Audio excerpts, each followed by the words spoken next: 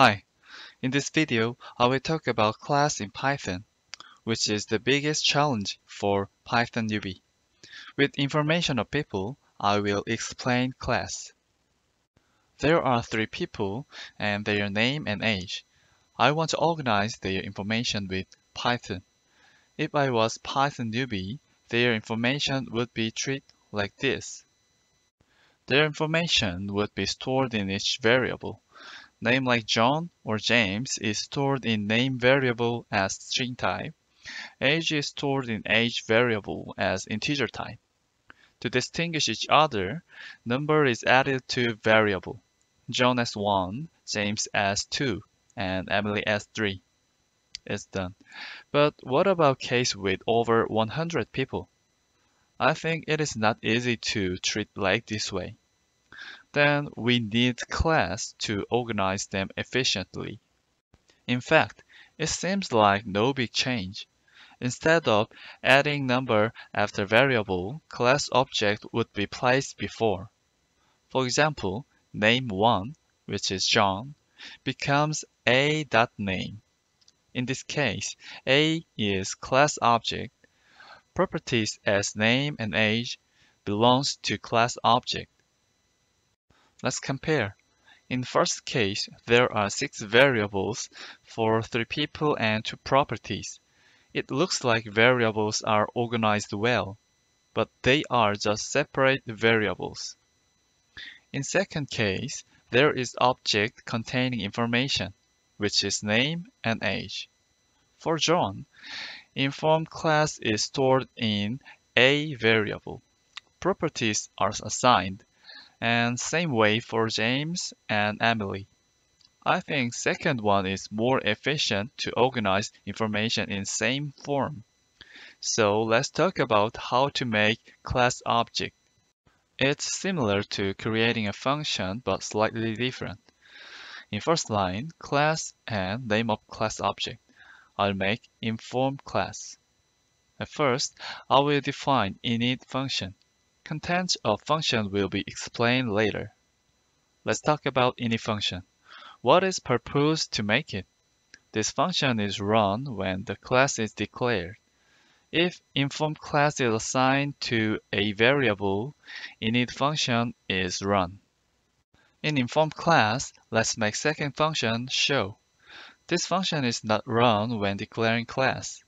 To run it, we should type as class.show. Now it's time to find out about self. Self means class object itself. I declare inform class and its function as show. Input variable of the function should be self.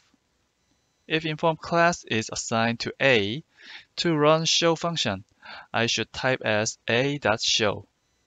Self, which is used as input variable, is class object A. To speak easily, self becomes A in this case. Let's make inform class. First line class and class name as inform. Uh, let's define init function. Define two underbar init two underbar. Uh, when we make function in class, input variable self always should be contained. Contents of this function is simple command at first, print AA. If we declare this class, init function will be run. Inform object is assigned to variable A. We can see AA is printed. If we change text into BB, as BB is printed. Now let's change init function to use properly. I want to get name and age of people and store them. It is very important to think about actual form when using class. Name should be a.name and age should be a.age. As I said, self is replaced to a so in definition of function, a dot name should be self name and a dot age becomes self age. With input function, we can get information manually. Name,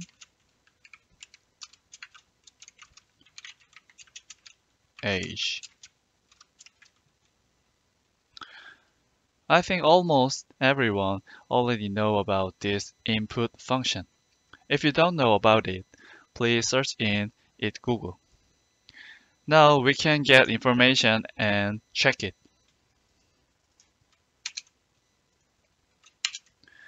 Name is John. Age is 28. So let's print this. Print a name and a dot age. So we can see it. And let's make another function show. We will run this function by typing as a dot show. Define show and self. Contents of this function is printing information of people. I am praise and praise years old. We can use format to input specific variable inside string. First one is self name and another is self age. It's done. Let's input name and age again. John 28. So if this code is run, information will be printed below. Yes, it's good. So we made class object and got to know how to use it. I wish this video will be helpful to understand what a class is and how to use it. Thank you. Bye bye.